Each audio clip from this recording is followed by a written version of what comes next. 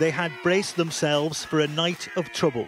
An asylum centre in Liverpool, surrounded not by those who wished it harm, but by those determined to protect it.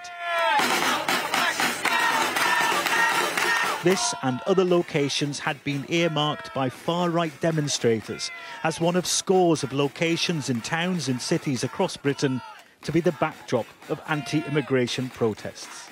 There's a lot of people in the community here who, you know, feel a lot of anger, a lot of fear, and I think there's the sense of the community where they've had enough.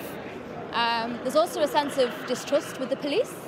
Um, a lot of people don't trust the police to defend their neighbourhood, and that's why a lot of them have come out. It was a similar story elsewhere. In Birmingham, anti racism campaigners marched through the streets. We've got people from all walks of life. This is what reality looks like. We don't want their reality. We want this reality because this is about peace, love, unity, and harmony. In Bristol, hundreds gathered to repel the planned protests by far right led groups. This is how it should be. Everyone should be united together, all as one. Yeah. How do you feel about the scenes that we've seen over, over the last week or so across the country? I think it's disgraceful, yeah. Absolutely disgraceful, yeah, and it needs to stop. In Brighton, the feared disruption didn't materialise.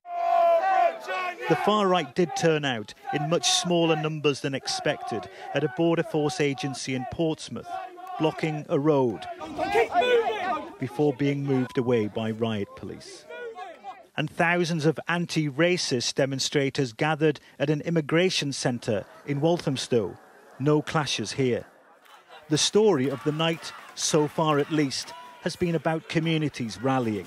It's hard to see how anybody could even get remotely close to this building to do any kind of damage. This community has turned out in their hundreds to mount the most extraordinary defence of this former church. It could have been the threat of stiff prison sentences handed out to previous rioters. It could have been the increased police presence.